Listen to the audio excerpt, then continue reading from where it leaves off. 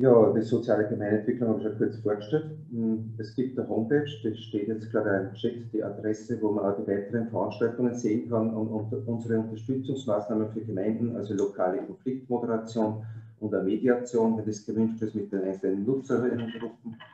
Das wird, äh, das wird die Folge sein äh, von, dem, von dieser Veranstaltungsreihe. Und äh, im Moment, wir haben als Hinweis eigentlich eh nur, dass wir zu wenig sind und glaube ich jedem zumuten kann, dass er sich selber freischaltet, wenn er Fragen hat.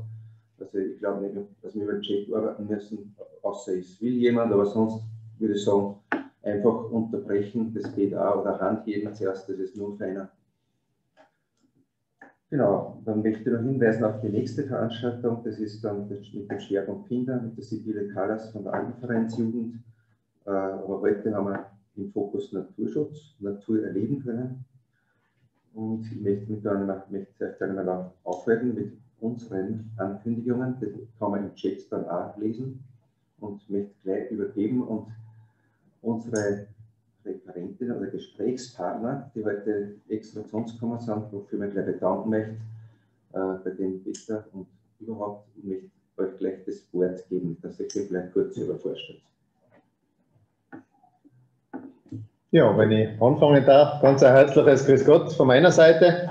Äh, mein Name ist Peter Capellari, ich bin vom Österreichischen Alpenverein, vom Hauptverein in Innsbruck bin da Mitglied in der Geschäftsleitung und Leiter der Abteilung Hütten, Wege und Kartografie, aber auch schon äh, in einer ja, sehr langen Tradition mit den Themen Besucherlenkung, Konfliktregelung, auch Mediation beschäftigt. Ich habe vor 22 Jahren beim Alpenverein angefangen, damals mit dem Auftrag der fortschreitenden Einschränkung der freien Betretbarkeit des Waldes und der Bergnatur Strategien entgegenzuentwickeln. Also das Thema ist nicht ganz neu, und man muss auch sagen, das ganze Thema mit der Wegefreiheit, also im Sinne der, des Rechts der freien Routenwahl, ist ja auch schon etwas, was uns wirklich oder was die Gesellschaft schon sehr, sehr lange beschäftigt.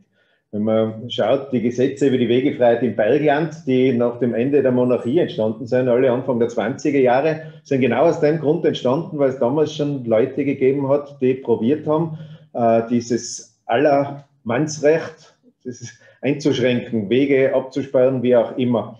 Äh, später dann, 1975, ist das Forstgesetz entstanden, das neue. Und das war ja ein irrer Kampf, den damals die Regierung Kreisky geführt hat, dass dieser Paragraph 33 äh, in das Forstgesetz aufgenommen wird, dass dieses für viele so selbstverständliche Recht, den Wald zu Erholungszwecken betreten zu dürfen, auch wirklich im Gesetz dann drinsteht. Und das ist eigentlich sehr fortschrittlich wie man gelöst worden damals. Es hat da gewisse soziale Deals gegeben mit dem Eintritts, der Eintrittsrecht in die Sozialversicherungen, die bäuerliche für die Waldbesitzer und, und, und. Und in Summe, glaube ich, hat es sich recht gut bewährt. Jetzt der Alpenverein äh, ist sowieso in einer sehr interessanten Position. Wir probieren, einen Spagat zustande zu bringen. Alpenverein ist eine Naturschutzorganisation und bekennt sich zum, äh, zum, zur Erhaltung, satzungsgemäß, zur Erhaltung der Schönheit und der Natürlichkeit der Bergwelt. Umgekehrt ist auch eine Bergsportorganisation, äh, muss also Naturnutz und Naturschutz unter eine Decke bringen, unter einen Hut bringen.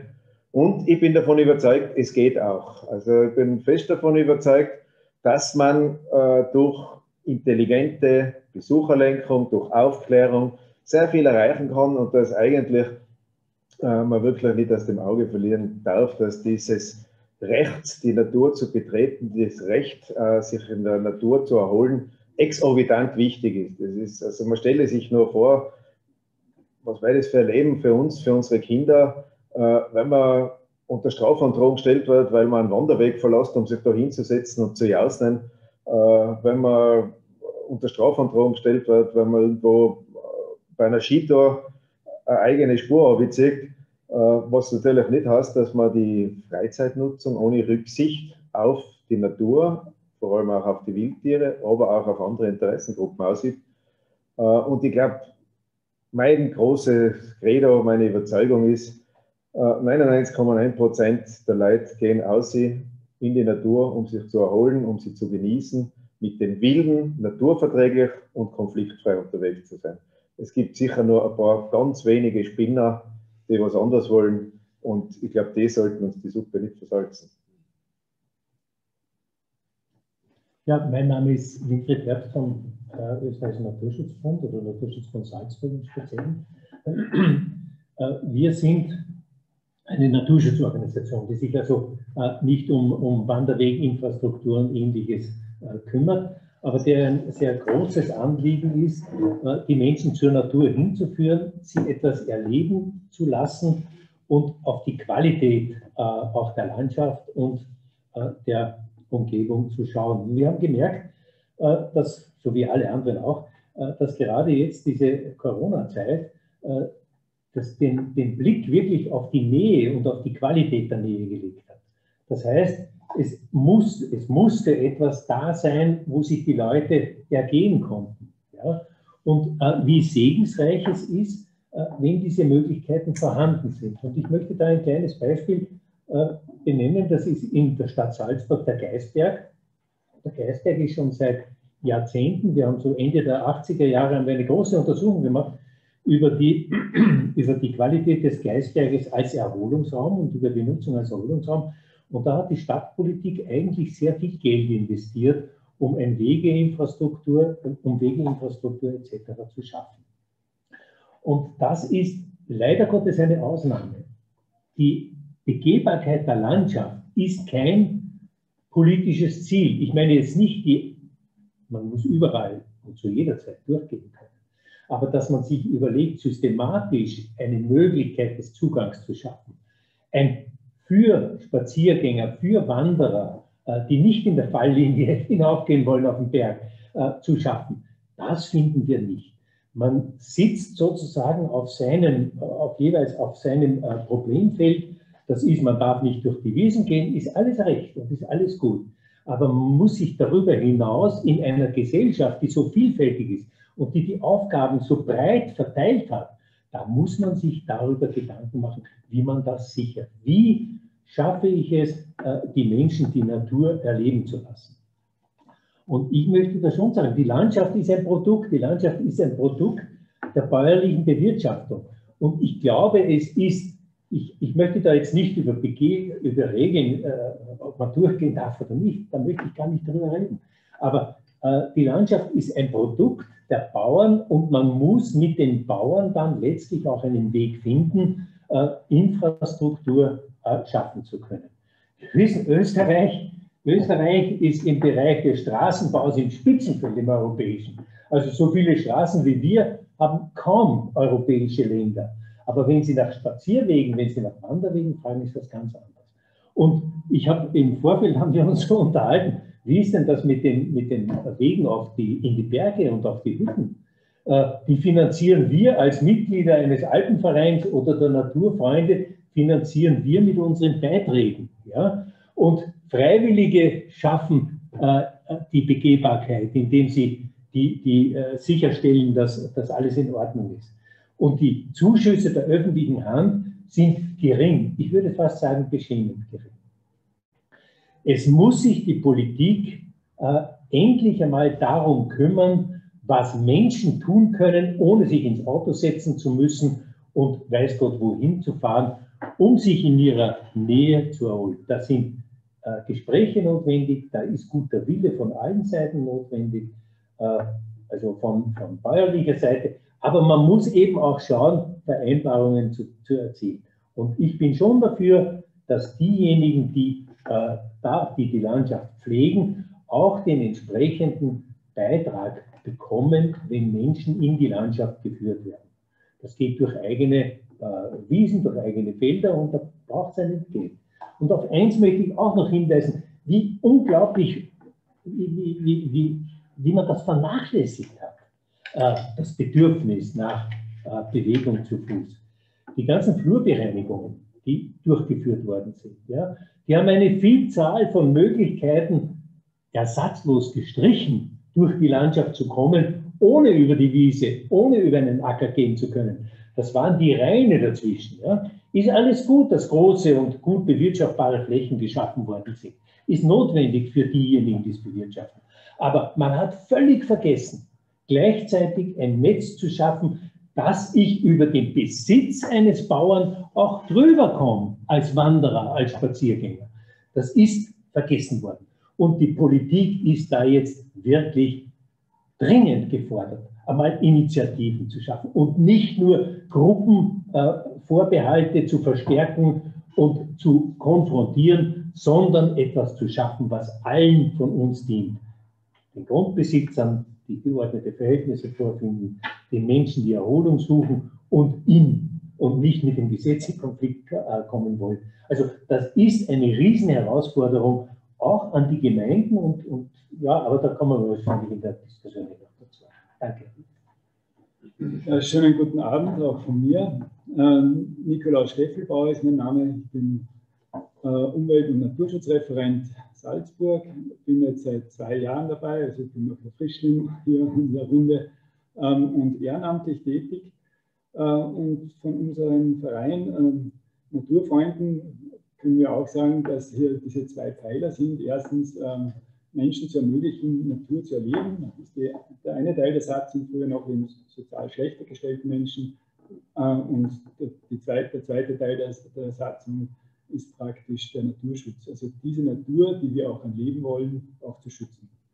Und ähm, das Thema, das wir heute haben, ähm, wie man gedeihlich miteinander in der Natur sich also verhalten kann, das ist ein altes und da kann ich äh, äh, zurückweisen auf zum Beispiel 1909, wo es schon in, in unserem Naturfreund, im Magazin, äh, einen Artikel gegeben hat, der verbotene Weg, und wo auch schon das gleiche Thema war, dass man eben tunlichst die Wege doch, äh, die, die öffentlich waren, für Wandernde offen zu halten.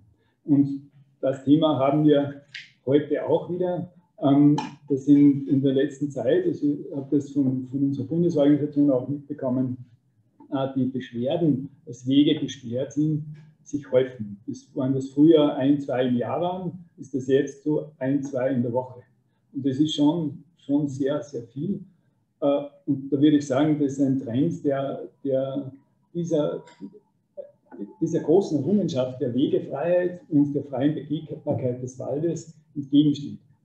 Also wenn man, wenn man sich ansieht, also es, waren schon, es hat schon 1906, 1907 trotz Wanderungen gegeben, also gegen das vorherrschende Recht, dass man, dass man also frei sich bewegen darf. Äh, in den 60er Jahren, 50er, 60er Jahren war das zusammen mit dem Alpenverein auch, äh, äh, auch ein Thema und wo auch nicht äh, letztlich durch, durch diese Initiative der, der Vereine ähm, dieses Wegerecht und diese freie Begehbarkeit äh, des Waldes zur Erholung dann auch durchgesetzt wurde.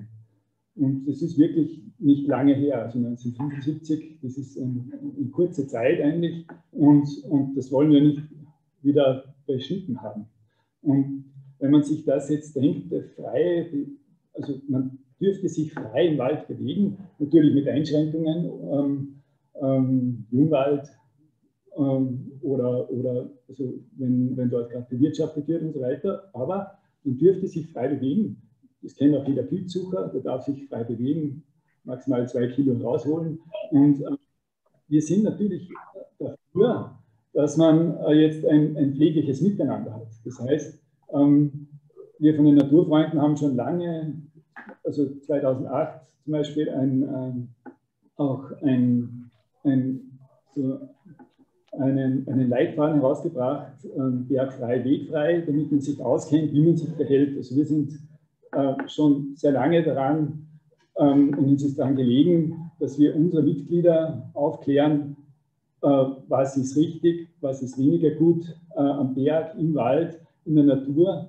Und der Leitspruch ja von Anfang an, also 1896, war Hand in Hand durch Berg und Land. Das heißt, wir sind nicht nur ein alpiner Verein, sondern wir verstehen uns auch als Naturschutzverein für, für das Land, also auch die Wiese vor, dem Haus. Ähm, und Hand in Hand kann man heutzutage so deuten, dass es, äh, dass es Hand in Hand mit allen Interessensgruppen äh, in der Gesellschaft sein sollte. Und ja, da, damit können wir den Reigen beginnen. Ich darf vielleicht inzwischen ganz kurz auch noch anmerken, jetzt ist noch der Syrak Schweighofer zu uns gestoßen. Christi, Syrak, Hallo, ich muss mich entschuldigen. Wir sind ja heute beim, beim mit den Goldecker Dialogen gestartet und haben oben technische Probleme gehabt mit der heute Abend stattfindenden Übertragung und ich habe es dann ehrlich gesagt kurz verschwitzt, dass ich eigentlich da herunten sitzen hätte sollen. Aber es ist bei dir in besten Händen, insofern horche ich jetzt kurz zu einmal eine Zeit lang. Bitte nur weiter. Dass du ein bisschen früher gehst und dafür ein bisschen später kommst. Ja, ja. genau den Ausgleich habe ich gesucht. Ne, ich wollte äh, gerne noch ergänzend sagen, also diesen Trend zu Wegsperrungen, Absperrungen, Flächenabsperrungen beobachten wir im gleichen Maß. Also die, ich sage immer, es ist ein Flächenbrand, war oft nicht ernst genommen, aber ich habe schon etliche Beispiele jetzt gesammelt und wir kriegen wirklich sehr, sehr viele. Und das, was mir auffällt, ist, äh, einerseits ist es verständlich, also ich kann mir durchaus auch sehr gut in Hut von so manchen Bauern aufsetzen, der einfach leidet. Leidet unter dem, dass Leute kommen. Es kommen jetzt durchaus, glaube ich, auch Leute in die Bergnatur hinaus, die das früher noch nicht für sich entdeckt gehabt haben. Die haben einfach andere Interessen gehabt oder die sind woanders hingefahren auf Urlaub und so weiter. Stimmt sehr wohl. Umgekehrt, wenn man schaut, das Monitoring, das zum Beispiel in Tirol über das Projekt Bergwald Tirol miteinander erleben äh, geführt wird, wo man wirklich genau untersucht, wie mit, mit Besucherzählungen und so weiter, wie viel mehr ist es denn Wohnen? Das kann den Nachweis gar nicht so erbringen. Also das ist nicht so hundertprozentig belegt, das ist auf alle Fälle gefühlt ist es so, dass es viel mehr Leute sind und dass natürlich äh, speziell im Umfeld von Ballungsräumen viel mehr wird. Was ich aber einfach auch beobachte, ist, es gibt eine starke gesellschaftliche Veränderung die immer mehr eben in einen Egoismus geht, der aber alle Gesellschaftsschichten, egal ob das jetzt irgendwelche naturentfremdeten Städter sind oder Wald- und Grundbesitzer betrifft. Und das ist das, äh, was mir gehört, gehört mir und geht niemand anderen etwas an. Und äh, da sehen wir einfach diesen Begriff des Eigentums, der nicht mehr hinterfragt wird, wie viel, wie viel Eigentum ist sozialverträglich, das ist nur für mich behalten. Ein Waldbesitzer kann sich bis zu 15.000 Quadratmeter das Garten abzäunen als sein Eigentum, wo alle ausschließen kann, aber kann er darüber hinaus auch wirklich tausende Hektar oder hunderte Hektar aufbauen. Da glaube ich eben, da hört sich es irgendwo auf. Und das, was man jetzt eben auch merkt oder was wir stark bemerken, ist, wie sehr diese scheinbar jetzt so schlagenden und in den Medien so stark verbreiteten Argumente vorgeschoben werden, um ganz andere Interessen zu vertreten. Da ist jetzt einmal allen voraus das Q-Urteil zu nennen. Klar, ein extrem tragischer Fall, für alle erschreckend, wie gibt es das? Oder da kommt zu so einem Unfall auf der Alm äh, und dann wird ein Bauer zu Schadenersatz verurteilt. Das, was aber die Leute nicht anschauen und was ja ganz bewusst von Interessenvertretungen nicht dazu gesagt worden ist, ist, wenn man das Urteil genau durchlässt, dann kommt man drauf, das ist sehr gut begründet. Das ist einfach so, das ist der Einzelfall zu betrachten. Und in dem Einzelfall ist das keine typische Almsituation. Wenn ich 1600 Leute pro Tag habe, öffentliche Straßen, eine Bushaltestelle und, und, und, und davor schon drei Unfälle, äh, und zwar mit einem Personenschaden, dann muss ich sagen, da weiß ich, dass es gefährlich ist. Und wenn dann noch was passiert, dann ist eh strafrechtlich nichts passiert so zivilrechtlich hat es geheißen, da gibt es ein Mitverschulden und deswegen ist ein Schadenersatz zu leisten. Wenn heute ein teures Auto kaputt gemacht wird von einer Kur, ist es kein Thema. In dem Fall, man, es ist ein Mensch zu Tode gekommen, das möchte ich jetzt nicht verharmlosen, aber es ist für, die Landwirt, für den Landwirt ein Versicherungsfall gewesen vom wirtschaftlichen her. Und mittlerweile ist er vierfach abgesichert. Dann gibt es eine zweite vorgeschobene Argument, das wir jetzt immer hören, das ist die Baumhaftung. Jetzt hast du das Eschenstern gegeben, das ist gemein, Eschen fallen um, aber auf einmal wird jetzt mit dem Argument, dass man ja da mitten im Wald auch haften würde, was einfach rechtlich nicht wahr ist, entweder Riesenschläge eingeschlagen werden, gute Ausrede, dass ich Nutzungen machen kann, die ich sonst nicht machen könnte, oder ich muss den Weg sperren, weil ich kann das Risiko nicht tragen. Der Alpenverein hat schon seit Anfang der 80er Jahre diese Waldrandhaftung nach 176 Forstgesetz für den Waldbesitzer mit aufgenommen. Der ist also über unsere Versicherung Rechtsschutz versichert und Haftpflicht versichert. Wir haben noch keinen einzigen Schadensfall gehabt in der Versicherung, noch keinen einzigen. Aber es ist ein Riesenthema und da müssen wir jetzt Gesetzesänderungen und was weiß ich was machen. Muss und dazu, Entschuldigung, die Frage, muss dazu äh, der, der, Bauer beim Alpenverein sein oder ist es automatisch? Nein, automatisch mhm. entlang unserer Wege sind die Grundbesitzer für Schäden, die aus diesem Titel behauptet werden, versichert. Also ob das jetzt ist, dass jemand sagt, mir ist Arsch auf den Kopf gefallen, der Bauer hätte den wegtun müssen, den Baum, und schon steht was.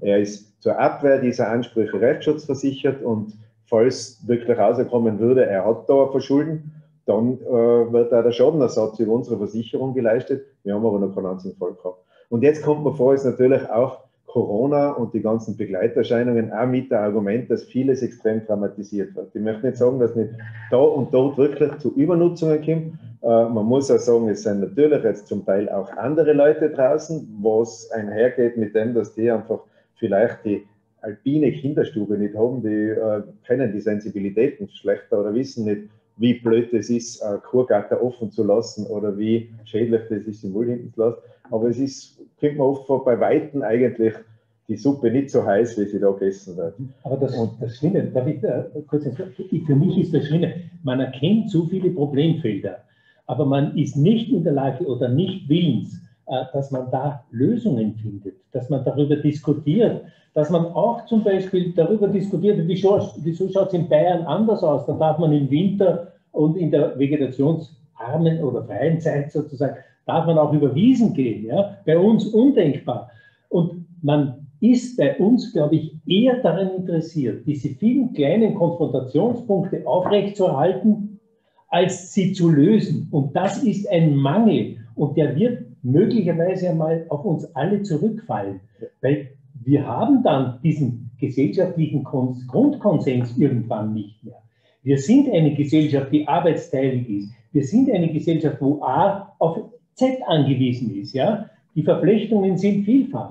Und darüber müssen wir viel mehr nachdenken, als wir tun. Und uns nicht verweigern und irgendwelche Konfrontationslinien sogar noch verstärken, ja? indem wir immer wieder dasselbe wiederholen. Das wäre verfassungswidrig oder das wäre sonst, sonst wie.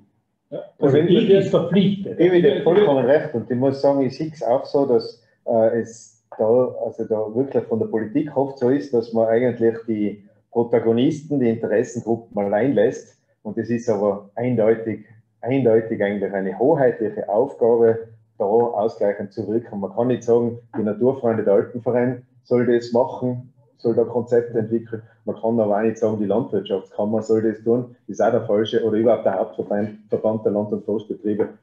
Ja, ich finde ja, also dass wir, wir brauchen das Rad nicht neu erfinden wir alpinen Vereine, also Naturfreunde, für uns kann ich es mal sagen, wir haben ja auch schon lange also unsere Hausaufgaben gemacht und unsere eigenen Mitglieder aufgeklärt. Wir haben, wir haben zum Beispiel so Folder gemacht, schon 2013. Wie, wie verhalte ich mich auf der Weide? Welche Tiere gibt es da auf der Weide? Wie ist das mit dem Hund? Wenn ich einen Hund dabei habe und ich weiß, da ist eine Alm, dann muss ich großräumig ausweichen und so weiter. Das, also wir haben unsere Hausaufgaben hier schon gemacht. Und, äh, und, und jetzt ist die Frage, wie, wie bekommen wir die anderen ins Boot?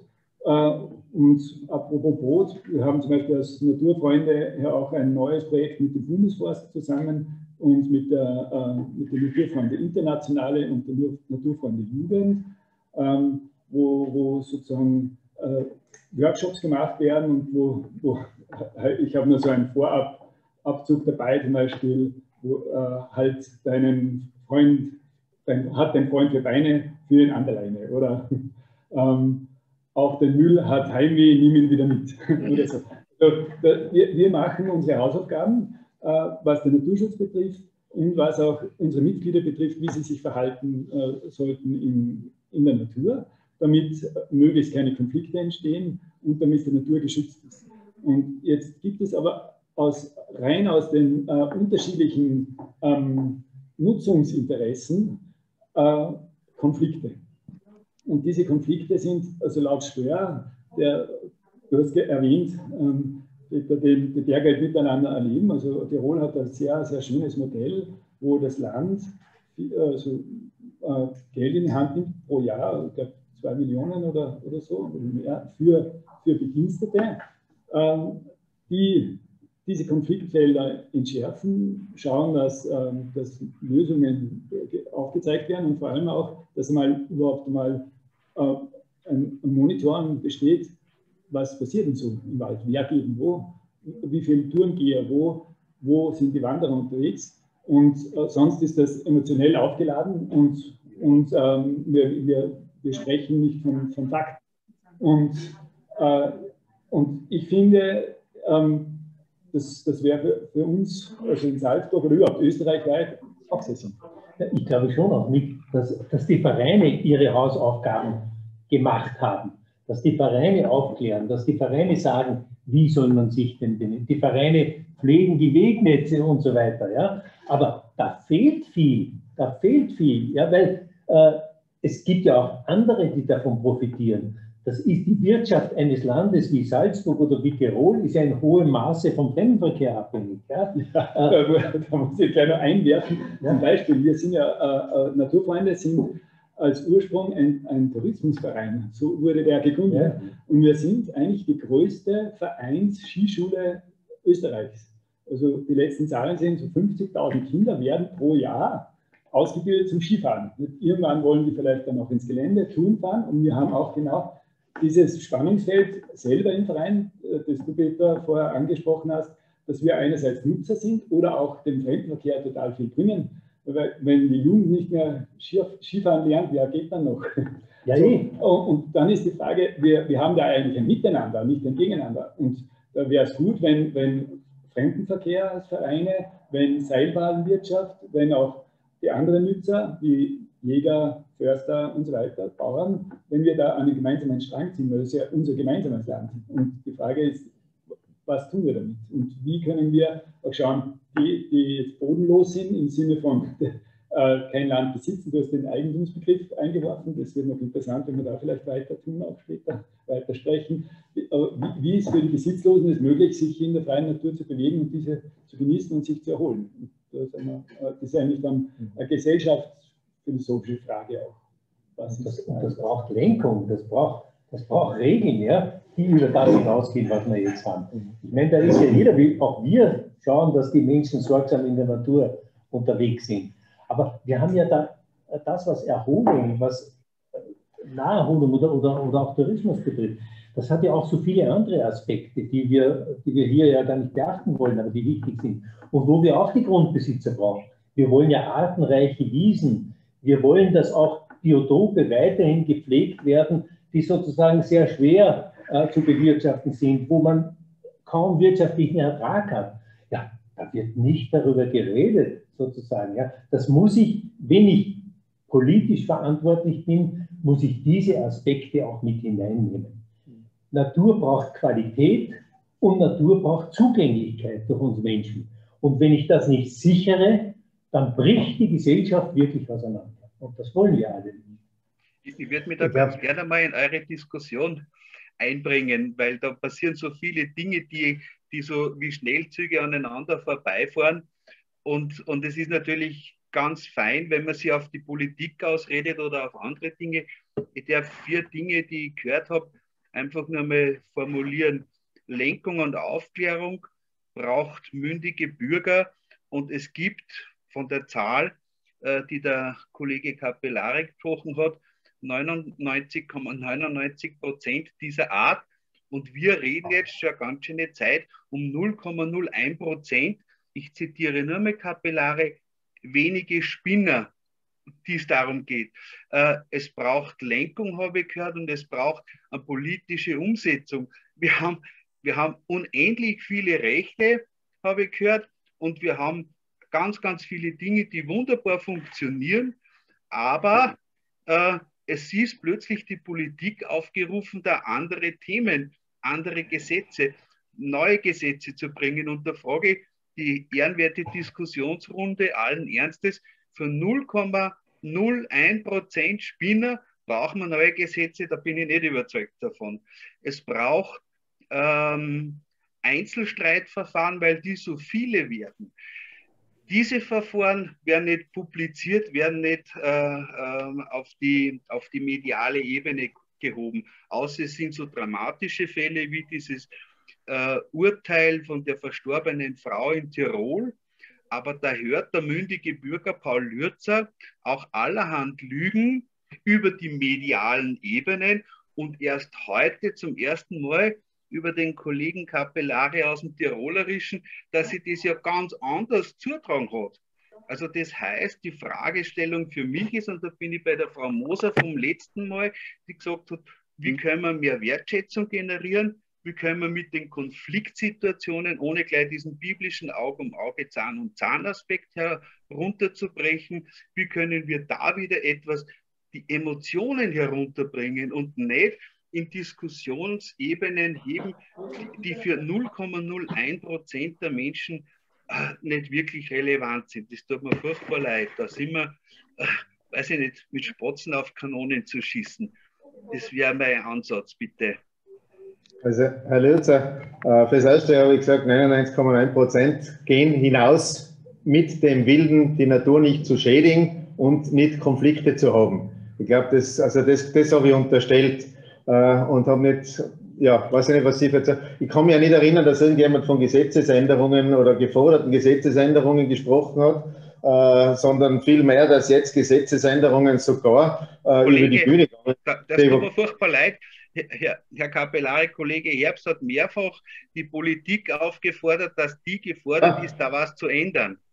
Ja, aber, aber das heißt nicht unbedingt, dass die Gesetze ändern muss. Das beste Beispiel ist dieses Bergwelt Tirol miteinander erleben, das heute schon öfter strapaziert worden ist. Sind dort so, dass da vier Akademiker beim Land beschäftigt sind. Also da nimmt das Land äh, Geld in die Hand für diese Planstellen, die sich als Kümmerer äh, da wirklich um das ganze Projekt, was schon viel mehr als ein Projekt ist, das ist schon in Linie gekommen. Es gibt in allen Bezirksforstinspektionen über ganz Tirol verteilt, äh, gibt es Regionalberater, das sind ebenfalls Forstakademiker, die dort arbeiten, um regional die Projekte umzusetzen. Das ist also ein Netzwerk, das groß ist und das ist in der Forstpartie angesiedelt. Und die Idee dazu hat schon der alte Forstdirektor Scheiring gehabt, der gesagt hat, wir wollen agieren, bevor wir reagieren müssen. Und das ist dieser politische Ansatz, den ich meine. Das ist das, dass man sagt, es braucht Kümmerer, äh, und zwar in der öffentlichen Hand, die sich darum kümmern und die das ernst nehmen, die den Bedarf ernst nehmen, die dann auch den Bedarf oder die Nöte der Grundbesitzer ernst nehmen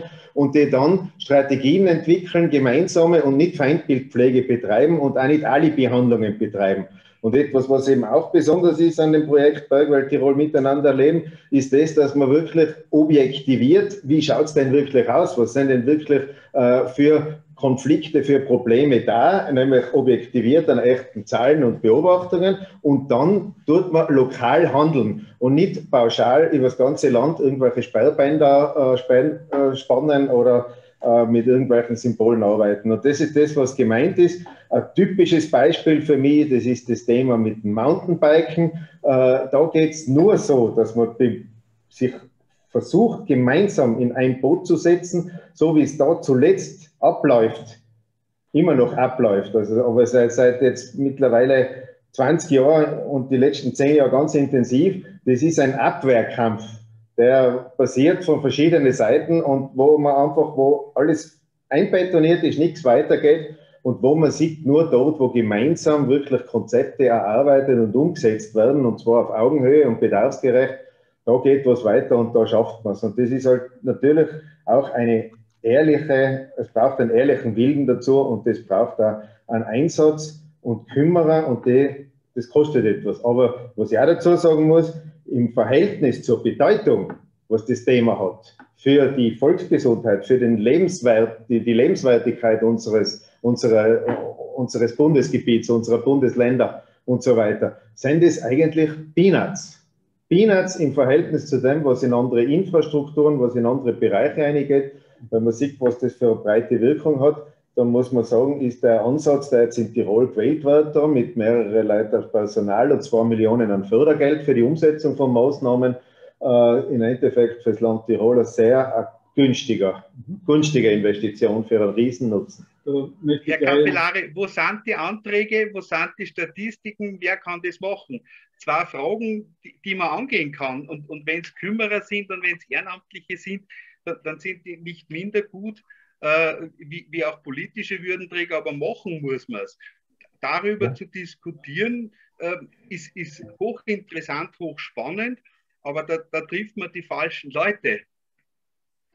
Darf ich, darf ich mich kurz äh, dazuschalten, weil ich gerne auf die zwei letzten Gespräche äh, kurz kommen möchte. Wir haben jetzt äh, den äh, Dieter Stör zu Gast gehabt und den Nike Liembacher und Ich habe beide Male habe ich gefragt, also wie ist denn die Dimension der Problematik? Wie groß ist denn die? Und der Dieter Stör hat uns gesagt, sie haben in Tirol auch Erhebungen gemacht und versucht, dem ein bisschen auf die Spur zu kommen. Wie viel ist denn das wirklich?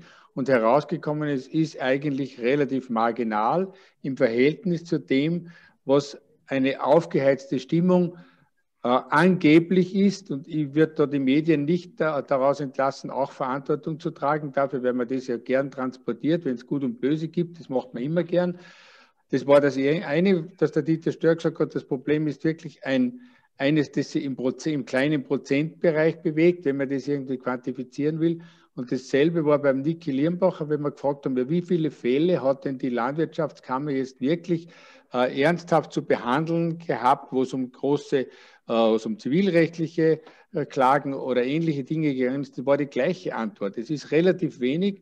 Und ich glaube, äh, ein Punkt kann schon sein, dass wir äh, die, das ein bisschen relativieren, was da verkehrt läuft und dass wir dazu stehen, dass sehr vieles sehr gut läuft, aber es einen ordentlichen Verbesserungsbedarf gibt. Und bei uns in Salzburg würde ich einmal nach diesen zwei Gesprächen äh, zusammenfassen, wir müssen sicher auf Landesebene, auf Verwaltungsebene sind wir gefordert, etwas zu tun, was in Tirol schon passiert ist, nämlich bestimmte Beträge und Positionen vielleicht zu schaffen, die sich hier um Konsens bemühen, die schauen, dass man Vereinbarungen trifft, dass man vorankommt. Und ich glaube, bin nicht überzeugt, dass wir Gesetzesänderungen dazu brauchen. Das ist eher eine Frage der Kommunikation aus der Gesetzgebung. Wir brauchen eine Zielvorstellung. Wir ja. brauchen eine Zielvorstellung. Auch das ist auch das ist, das ist auch diskutiert worden, dass wir sowas wie einen Zielekatalog brauchen. Und wenn der umgesetzt werden soll, dann braucht es einige Menschen dazu, die das auch vielleicht hauptberuflich machen, so wie es in Tirol mit genau. diesen Angestellten in den Forstverwaltungen ist oder im Forstbereich in der, Land, in der Landesregierung. In diesem Zuge wurden ja auch ein paar Zahlen genannt. Der, der Dieter Steuer hat ja eine Studie vorgestellt, ja. oder kurz von der, von der Sportwissenschaftlichen Fakultät in Innsbruck, die erhoben hat, wie viele Leute sich im, im Freien und in der Natur eigentlich bewegen sportlich. Und das sind äh, über, über zwei Drittel. Das heißt, also ich habe da die genauen Zahlen nicht, die müsste man nochmal anschauen, vielleicht äh, liegen die ja dann auch vom, äh, vom Dieter Stör. Auf jeden Fall ähm, ist es so im Vergleich zu wie viele Leute in Vereinen gebunden sind, im Sinn von sportlichen Vereinen wie viele Personen im Freien sich bewegen und in der Natur sich bewegen, ist da ein exorbitanter Unterschied. Und diese Leute, die sich in der Natur und im Freien bewegen, haben praktisch keine Lobby. Das heißt, für die sollte doch es sinnvoll sein, äh, äh, Infrastruktur zu erhalten und, und, und das zu befrieden, wenn es Konflikte gibt. Und das wurde noch nie so gesehen. Man sagt, das sind das sind viele Menschen, die sich im Freien bewegen wollen, die äh, Bergsport betreiben, die nur wandern, die nur auf, äh, am, am, Wiesenrand auf einem, Weg gehen der, äh, und, und die sollten das auch machen können und, und da kann man auch Geld in die Hand nehmen wir brauchen einen niederschwelligen Zugang zur Natur, zur Landschaft, zur Erholung. Äh, und das ist, das finde ich also äh, sehr wichtig. Und dass man sich einfach darüber einmal Gedanken macht, wie kann man denn das sichern? Ich meine, im alpinen Raum ist es ja auch noch einmal, ich sage fast ein bisschen leichter als im Vorland, wo, wo ich äh, noch weniger Möglichkeiten habe. Ja? Äh, wir wollen, natürlich kann man neben äh, an Güterwegen am, am Straßenrand entlang gehen, aber das ist nicht das, was die Menschen brauchen und das ist nicht das, was physische und psychische Gesundheit eigentlich erfordert. Ja? Also wir haben ganz objektive Kriterien. Wir, das, das ist ja keine, da braucht man nicht streiten, sondern da muss man sich über Ziele unterhalten. Wo wollen wir hin? Was wollen wir sichern? Und wir wollen keine Verlierergruppen. Das dürfen weder die Grundbesitzer sein noch sonst wer. Ja? Sondern das ist eben dieser unglaublich schwierige politische Prozess, der aber begonnen werden muss. Aber ich denke, die, die Besucherlenkung, die ist notwendig. Wir hören, es sind sehr, sehr viele Leute, die außen sind. Das ist eh keine Frage. Und es ist auch gut, muss man immer wieder betonen, es ist auch gut, dass die Leute sich in der freien Natur erholen. Und äh, das ist sehr, sehr wichtig. Aber die effektivste Besucherlenkung ist die Infrastruktur. Und das muss man sagen, das sind die Bergwege, die vor allem die alpinen Vereine zur Verfügung stehen. Aber wir sehen es auch im Bereich vom Mountainbike. Und wenn ich Konflikte lösen will, dann muss ich Mountainbike-Routen legale anbieten äh, und muss unter Umständen jetzt auch Single Trails oder so etwas schaffen, vor allem im Umfeld vom urbanen Raum, äh, weil das, da hat sich auch einiges verändert, das ist ganz klar. Äh, und noch ein Wort wollte ich sagen zu dem Kururteil, dass das nie publiziert worden ist, wie das wirklich ist. Also da hat es einen sehr, sehr äh, fundierten Artikel im Falter gegeben, aber das kann ja jeder nachlesen im Bergauf, also im Mitgliedermagazin vom Alpenverein Nummer 3 2019 äh, habe ich mich bemüht, das Ganze darzulegen äh, und habe eigentlich, also ich habe mir das Urteil wirklich genau durchgelesen und habe das so dargelegt und da haben wir dann etliche Almbauern und so weiter recht geben müssen, dass das nicht begründet ist, äh, was da jetzt oft äh, kommuniziert worden ist, entweder die Viecher müssen daheim bleiben oder der Mensch muss daheim bleiben. Und das wäre notwendig, alle Almen abzusperren, weil sonst ist man in, der Haftung und mit einem Fuß im Kriminal und so weiter. Das ist einfach nicht wahr. Und das ist so, ja, Unfälle werden verursacht oder passieren, wie man es sehen will, äh, das ist tragisch aber irgendwo, man muss es dann genau anschauen, bevor man zuerst laut schreit, Skandal und, und Fehlurteil oder sonst etwas. Aber, aber genau, Herr Capellari, das ist ja die Dramaturgie ich habe lachen müssen, wenn Sie sagen, das ist in einem Falter drinnen gestanden und in der dritten Ausgabe vom 47. Bladel der Naturfreunde. Und wenn Sie sich die Millionen Stunden und Seiten der, der ganzen TV-Sender anhören und, und die großen Medien dazu anhören als Pendant, dann schnallt die Waage äh, aber sowas von ins Ungleichgewicht. Und das ist für mich auch eine spannende, äh, sehr wohl auch politische Diskussion. Wie kann man die Meinungsbildung auch dahingehend lenken und unterstützen, dass das, für mich war das wirklich das erste Mal, dass ich das so gehört habe, wie Sie das gesagt haben. Dass wirklich so auch der, der, der mündige Bürger diese Dinge neben dem äh, schreienden Journalismus wahrnehmen kann, weil ich glaube, dann könnte man auch das eine oder andere erzählen, was auch einen sehr hohen Lenkungswert hätte und wo man dann vielleicht nur weniger streiten bräuchte. Das ist leider auch eine gesellschaftliche Entwicklung. Only bad news are good news und die Skandale, die ja. hört man viel lieber, beziehungsweise die schreiben unsere Medien einfach viel lieber. Und deswegen, äh, wenn das dann aufgeklärt ist oder so, dann ist sie eigentlich nicht mehr so heiß und dann tut man sich viel härter so etwas wieder zurechtzurücken. Äh, und leider muss man jetzt auch dazu sagen, dass derartige schnell ausgesagte Aussagen wie von unserem Tobias Moretti, der da Skandal geschrieben hat und der, der weltfremde äh, Richter, der so eine, ein Fehlurteil fällt und so weiter, das, da fängt man immer ein, weil das, diese Botschaft trifft einfach auf viele wirklich auch naturentfremdete Leute, die sich nichts vorstellen können und die wollen nichts anderes haben. Und das ist das ist leider ein Faktum und das ist nicht das dritte Plattel von 37 Spuren Naturfreunde, es, es Bergauf ist ein Mitgliedermagazin, das doch 800.000 äh, Leute erreicht und das erreicht auch Journalisten und so weiter und die hätten durchaus die Möglichkeit, auch objektiv zu berichten. Vor allem war aber mein Ansatz äh, auch die Forderung an die Politik, äh, ob das das Lebensministerium dazu mal war oder jetzt das, das äh, Köstinger Ministerium oder auch äh, der Appell an die Landwirtschaftskammern, bitte gebt objektive Auskunft euren Bauern, ihr tut ihnen einen totalen Bärendienst, wenn ihr da den Teufel an die Wand malt und etwas behauptet, was einfach nicht wahr, nicht begründet ist. Da wären die Landwirtschaftskammern viel besser dran gewesen, wenn sie ihr Klientel beruhigt hätten und gesagt hätten, du äh, brauchst nicht der Panik haben deswegen, weil die Empfehlungen, die waren genau der Vorschau entsprechend diesem Urteil, den juristisch, die die Juristen der Landwirtschaftskammer den allen Bauern gegeben haben, wie sie umzugehen haben mit dem Thema. Um nochmal darauf zurückzukommen, äh, auf, das, ähm, auf, die Bergwelt miteinander erleben. Es hat ja schon vor einem Jahr Gespräche gegeben, auch mit der Landwirtschaftskammer. Und da hat sogar die Landwirtschaftskammer in Salzburg ähm, das Thema aufgebracht und sagt, wir wären dafür, dass, äh, dass dieses Modell auch in Salzburg umgesetzt wird. Jetzt ist ähm, jetzt leider noch kein direktes Gespräch geführt, aber mir sind E-Mails ähm, sozusagen bekannt wurde, es schon vorgeschlagen wurde, was ich sehr sinnvoll finde. Das heißt, wir, wir ziehen da eher an einem Strang, also die Alpinenvereine, die Naturschutzbunde auch und, und, die, und eigentlich die Landwirtschaft auch, dass man sagt, es macht Sinn, dass man da politisch wirklich äh, was installiert, wo nicht die Ehrenamtler das übernehmen müssen, die Befriedung, sondern sozusagen der, der Landesdienst in dem Sinn. Und, und warum wir das auch sagen, ist, weil wir schon merken, dass eben mehr äh, Wegesperrungen pro Woche eben schon da sind. Nicht? Früher einen Jahr und jetzt einen in der Woche. Das ist schon ein Unterschied. Also das, das würde ich schon sagen, dass, dass wir da ein, ein drängendes Problem haben, wenn man es als Problem darlegen will. Und, äh, und gleichzeitig auch, wenn man jetzt mit Mountainbike-Vereinen ähm, spricht oder schaut, was am Berg los ist, auch mit, mit den neuen Rädern, die elektrisch angetrieben sind, gibt es halt da jetzt mehrere Nutzergruppen noch dazu und in dem Winter auch mehr Skitourengeher, was zumindest die Verkaufszahlen bei, den, bei die, die, die, der Handel veröffentlicht hat, äh, nahelegen lässt.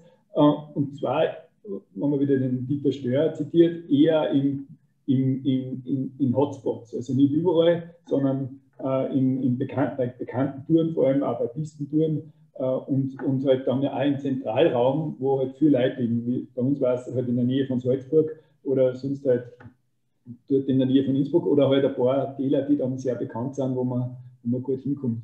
Und ja, weil wir aber als Thema haben auch den Umweltschutz, gell, Natur gemeinsam erleben, wäre es mir ein Anliegen, ein bisschen umzuschwenken noch auf das Thema, wie komme ich denn zum Berg? Und äh, zum Berg möchte ich kommen mit öffentlichen Verkehrsmitteln. Und da gibt es seit 2008 bei den Naturfreunden eine, eine Initiative Umsteigen vorm Aufsteigen, äh, dass man also wirklich mit öffentlichen Verkehrsmitteln zum Berg kommt. Und das ist leider auch, also da möchte ich auch einen Appell an die äh, Politik geben, nicht einfach. Also wenn man, wenn man zum Berg irgendwo kommen will und mit öffentlichen Verkehrsmitteln fahren will, dann hat man richtig lange Zeiten, die so oft nicht machbar sind. Und wenn man aber mit dem Auto fährt, dann hat man das Problem der Parkplätze dann dort und dann hat man schon wieder den ersten Konflikt mit den Grundbesitzern an Ort und Stelle, wenn die Parkplätze nicht reichen. Das ist auch nochmal ein ganz wichtiges Thema meiner Meinung nach. Wie komme ich denn zum Berg oder wie komme ich zur Natur? Und das Schönste ist natürlich, wie wir jetzt sehen haben in Corona-Zeiten, wenn man rausgeht und die gleich vor mir der Haustür hat. Und das ist, oder zumindest mit einem öffentlichen Verkehrsmittel Und das ist halt leider nicht einfach. Also es ist ja ein ziemlich breites Feld, das da rundherum zu bestellen wäre. Und das geht nur in Gesprächen, das geht nur äh, im Miteinander und das geht nicht im Gegeneinander.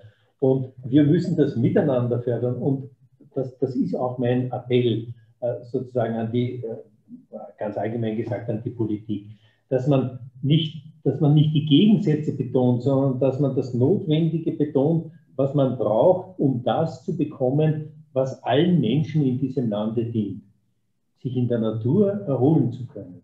Äh, der Stepper unten im Keller ist ein schlechter Ersatz für das, was wir verlieren, wenn wir die Begehbarkeit der Landschaft nicht mehr sicherstellen. Und da ist viel Investition und da ist auch viel Gespräch notwendig und ein Wille. Und an den möchte ich appellieren. Darf ich da beim Willen kurz anschließen, weil das habe ich schon mehrere Gesprächen erklärt, äh, dass manche schon die Schnauzen so voll haben, für jahrelang, äh, wirklich jahrzehntelang Auseinandersetzungen, immer wieder, dass die überhaupt nicht bereit sind und sagen, nein, lasst mich in Ruhe mit dem, ich will nicht mehr diskutieren, ob da jetzt irgendein Trail kommt oder ich verlege den Wanderweg jetzt an meine Grundstücksgrenze, das ist ja das, was, glaube ich, erlaubt ist Mhm. Ähm, und dann dadurch attraktive, unattraktive Wanderlinien und Führungen entstehen. Äh, wie kann man solche Menschen, weil an, die, an solchen scheitert es manchmal, dass der ganze Weg eigentlich dann äh, nicht weggehen kann von Ort.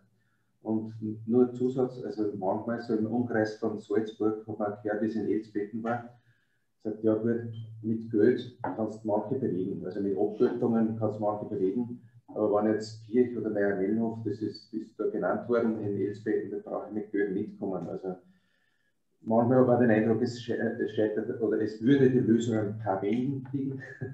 Aber was macht man mit Menschen, die sozusagen mittlerweile schon so frustriert sind vom jahrelangen Streit oder die das einfach nicht brauchen und nicht wollen?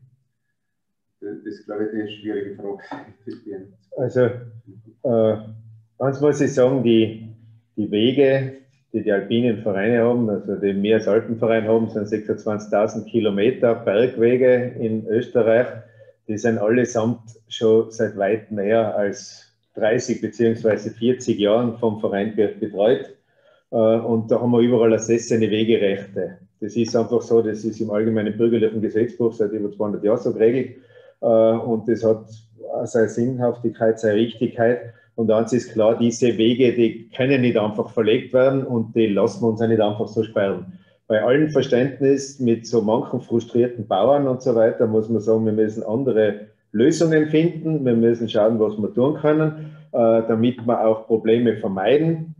Äh, aber diese Wegerechte, äh, die geben wir nicht auf, weil wenn wir die einmal aufgeben, dann sind sie weg, die kriegen wir nie mehr, die haben wir nie mehr und auch Gemeinden sind schlecht beraten, wenn sie aufgrund von irgendwelchen Allianzen in den eigenen Reihen solche Wegerechte aufgeben, das ist nämlich wirklich Gemeindevermögen und das kann man so nicht machen. Und ich kann einen Weg nicht einfach so, ich kann natürlich kleinräumig, kann ihn verlegen und, und das tun wir in Rücksicht auf die Natur oder in Rücksicht auf die Grundbesitzerinteressen, jetzt rund um ein Gehöft herum. Das ändert da nichts am ersetzenen Status. Aber wenn es dann weiter großflächiger ist, dann geht es nur mehr wenn die neue Wegtrasse auch mit einem Wegerecht im Grundbuch eingetragen wird und das will niemand so gern. Aber wir haben jetzt auch schon einzelne Fälle, äh, wo wir sehen, solche Wegsperrungen, die sind nie und nimmer zu begründen mit dem Weidevieh. Wenn ich da ans Krummeltal denke, da in Rauwis, das hat nichts damit zu tun, wenn einer 1000 Hektar Eigenjagd absperrt und da wissen wir, das ist nicht das arme Bayerle, der schon nicht mehr leben kann, sondern da geht es um, um knallharte Jagdinteressen und um, um, nicht um irgendwelche Haftungsfragen. Da muss man sich dagegen wehren. Und da bei anderen, man muss sich wehren, weil es einfach auch äh, ums, doch um, um die Beispielwirkung geht, wenn das äh, zunimmt oder wenn das Schule macht.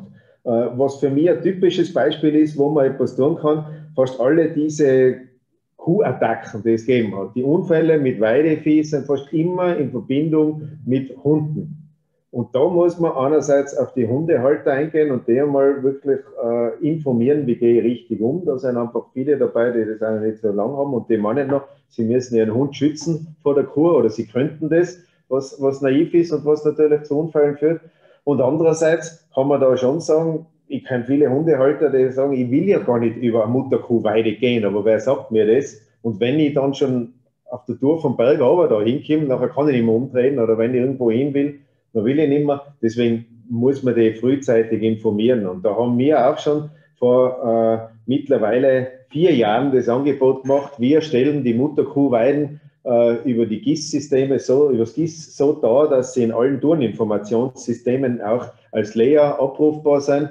Dann kann man sagen, lieber Hundehalter, du bist eigenverantwortlich, meide diese Mutterkuhweiden, such dir da einen anderen Weg und das kann man kostenlos anbieten, haben wir auch gemeinsam mit Dieter Steuerland Tirol angeboten. Wir haben jetzt vier Jahre lang um die Daten gekämpft. Die sind alle da, die sind alle in der Förderdatenbank da. Jetzt gibt es den ersten Ansatz vom Ministerium und mal versuchsweise haben wir einen Datensatz gekriegt, damit wir das aufarbeiten. Das ist aber etwas, was sofort geschehen ist. Und da, wenn man will, da kann ich sofort eine Lösung. Also und, und damit habe ich das, das Mutterkuh- und, und Wandererproblem schon weitestgehend entschärft. Weil ich einfach da für die Hunde etwas tun kann. Und dann kann ich sagen, dann kann ich Eigenverantwortung einfordern bei den Hundehaltern. Wenn ich sie nicht informiere, kann ich das nicht. Muss aber diese Datenbank jemand pflegen, oder? Die ist ja grundsätzlich da. Die Daten sind alle also über die, da gibt es ja die, die äh, Behiltungs- und die, die, äh, die Prämien, die Alterungsprämie und das wird alles über die AMA abgewickelt und alle diese Daten sind ja gießmäßig perfekt aufbereitet da. Äh, und wenn sie auch aus dem Vorjahr sind, ist das auch kein Problem, weil so weit ändert sich nicht. Und wir wissen, ungefähr 25 Prozent der Almen mittlerweile sind mit Muttergrün bestoßen. Und ich weiß einfach viele Hundehalter, die sagen, ja, sag mal wo, nachher wähle ich mein Tourenziel so, oder nachher wähle ich meinen Weg. Dass ich ja, ich denke auch, jeder Berggeher hat ja normalerweise eine Vorbereitung. Also er sagt, ich habe eine Tourenvorbereitung am Vortag zumindest, ich muss mir das Wetter anschauen, ich muss wo auf eine Hütte anrufen und den Hüttenwart fragen oder wie wird es da? Und da kann ich auch gleich ins Tourenportal von den Naturfreunden schauen oder vom Alpenverein, wo immer. Und, und, und da hast du dann vielleicht auch diese, diese Daten abrufbar, wenn man da zusammenspielt. Und also ich glaube eigentlich, ich glaube eigentlich das einfach nicht. Das klingt alles wunderschön und, und, und, und hoch toll und, und, und, und fantastisch. Ich gehe ich geh, äh, tagelang in Seefeld auf die Almen momentan wandern und das, was mir jeden Tag passiert, sind fünf bis sechs Hundehalter, die ihre Hund auf Wanderwegen, auf Forstwegen einfach rennen lassen, im Wald reinhupfen lassen. Und es, bitte, ich wünsche es für uns alle, dass dieses äh, System alle, alle Lücken füllt. Äh, allein mir fehlt der äh, praxiserprobte Glaube, weil es gibt 0,01 Prozent, wie Sie am Eingang gesagt haben, Menschen, die sich nicht an die Gesetze halten und wenn er in der Stadt, weil er falsch parkt, einen Strafzettel kriegt, ist ihm das beim Bauern wurscht, weil er weiß, der, der klingt er eh nie. Und da muss man was, nur mal, ich, ich mag auf die Frau Moser noch mal zurückgelangen, vom, letzten Mal, was sie gesagt hat, man muss auf dieses wertschätzende Umgehen miteinander wieder hinkommen. Und wenn die Bauern spinnen und fuchsteufelswild sind, dann muss wer hergehen und muss den Bauern auch bei dieser Emotion nehmen und sagen, was ist denn da einmal passiert und was können wir auch miteinander tun, damit das von den paar wenigen äh, eingehalten werden kann. Und was passiert in der Praxis? Genau das Gegenteil. Wird eigentlich noch von den Interessenvertretungen Feier ins Öl geschüttet und aufgestellt. Das ist das, was passiert leider. Welche Interessenvertretungen, Herr Capellari? Allen voran leider die Landwirtschaftskammer, die Landeslandwirtschaft. Dann muss man mit den Leuten von der Landwirtschaftskammer reden. Dann denke ja. ich, ist das vielleicht eine gute Möglichkeit, auch mit den den wir schon lange gemacht haben und was sie immer wieder probieren. Dass wir uns da mal zusammenhuckern und mit denen auch mal äh, ihre Sichtweisen einfordern. Nur über Menschen zu schimpfen, die nicht da sind, das bringt gar nichts, Herr Kapillare. Das ist die falsche Botschaft für Konfliktmanagement. Ja, ich schimpfe nicht über Leute, die nicht da sind, sondern ich sage, wo ich die, die, die Probleme sehe, speziell jetzt da bei den Bauern. Und wenn sie sagen, da muss man kalmieren, dann gebe ich ihnen hundertprozentig recht.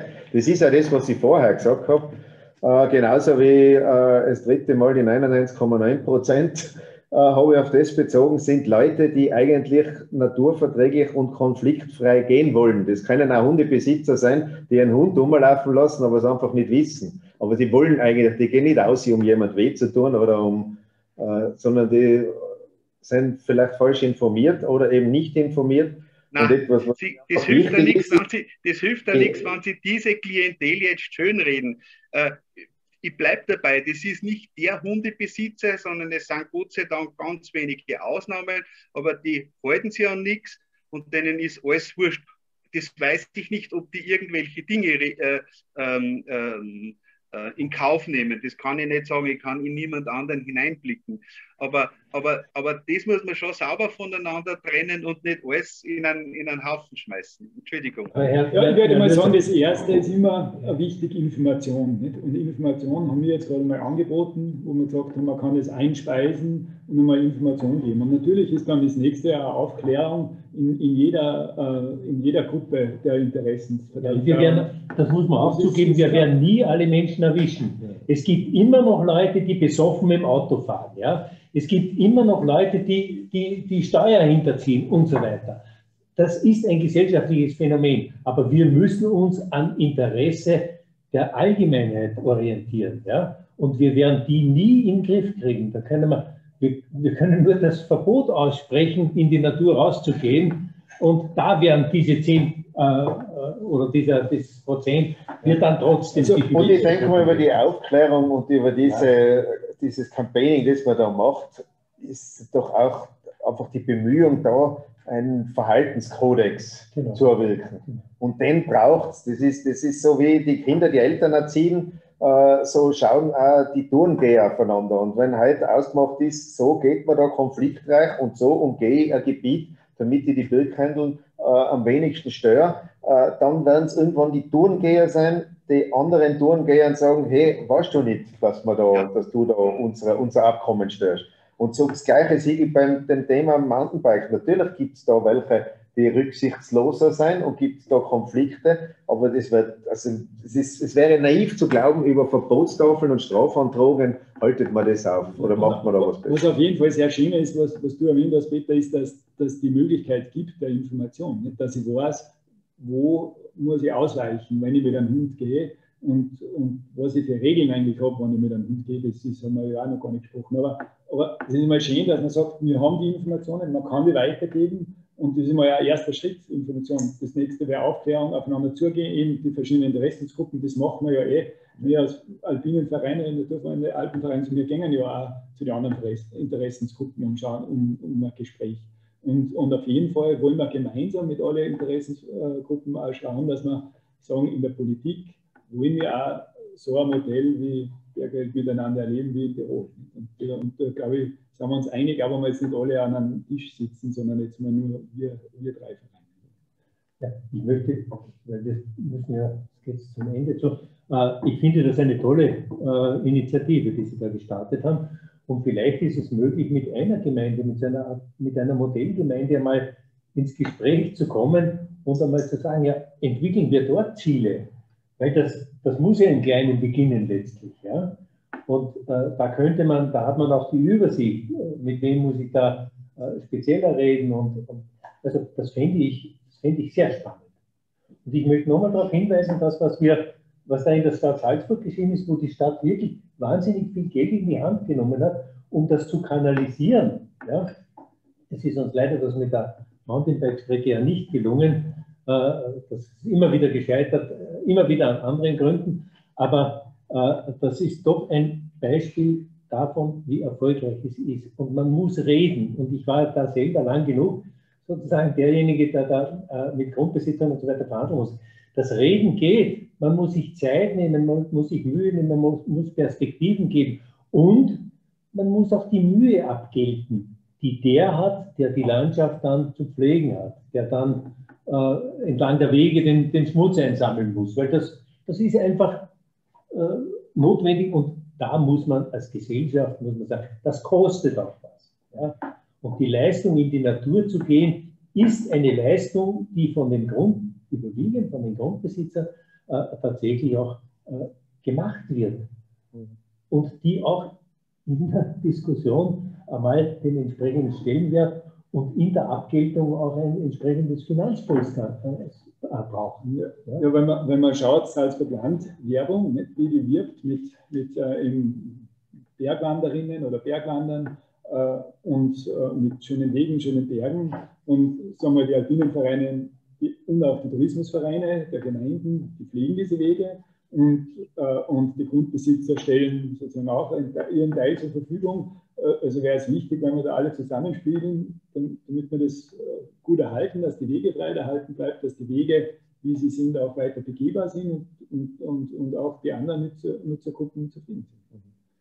Also, ja, wenn mir noch ein Abschlussstatement erlaubt ist, ich möchte sagen, der, äh, der Alpenverein kann für den österreichischen Alpenverein sprechen, aber ich glaube auch für den Salzburg. Claudia Wolf ist ja dabei, die wird mir sofort widersprechen, wenn ich was Falsches sage. Der Alpenverein stellt sich einfach zur Verfügung, äh, um da sein Know-how, was das Thema Besucherlenkung betrifft, äh, einzubringen, um mitzuarbeiten, um lokale Lösungen, die fair und auf Augenhöhe verhandelt werden und nach objektiven Kriterien äh, dargestellt werden, umzusetzen. Äh, wir tun da gern mit. Die Sache ist immer, äh, man muss schauen, dass man es leisten kann. Also wenn man einfach so über die in der Fläche drüber, da gibt es halt gewisse Vorbehalte.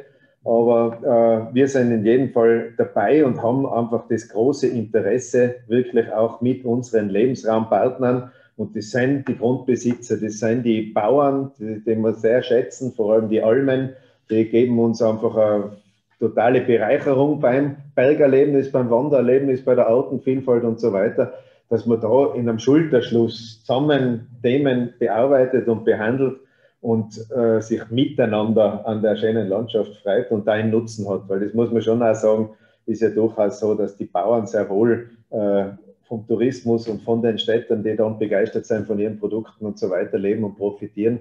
Äh, und das muss einfach unser Ziel sein. Also nicht das, das Gegeneinander und nicht das Verteidigen von Interessen, sondern das Suchen gemeinsamer Wege. Und das möchte ich gerne anbieten oder möchte ich gerne sagen, dass dazu verpflichten wir uns und sind wir bereit. Dann haben wir in Salzburg die Plattform für Antworten gegründet, wo wir auch das bündeln und wo wir eben gemeinsam an diesem Ziel ja auch arbeiten wollen. Und das ist ein lohnendes Ziel. Und, und äh, wie gesagt, das dient, das muss der ganzen Gesellschaft dienen. Das darf keine äh, Gruppen haben, die draußen bleiben. Und auch der Natur. Und der Natur, ja. Und, und das erfordert dann halt die entsprechende Sorgfalt äh, bei der Lenkung und bei der Planung. Okay. Wir sind eh schon einiges drüber. Danke für die äh, glaub, Schlussrunde, darf man schon so bezeichnen jetzt. Äh, ich möchte nur darauf hinweisen, dass wir am, 2, am 30.06. nochmal eine größere Diskussion haben, wo wir froh sind, wenn viele sich wieder einbringen, auch von denen, die jetzt schon dabei waren.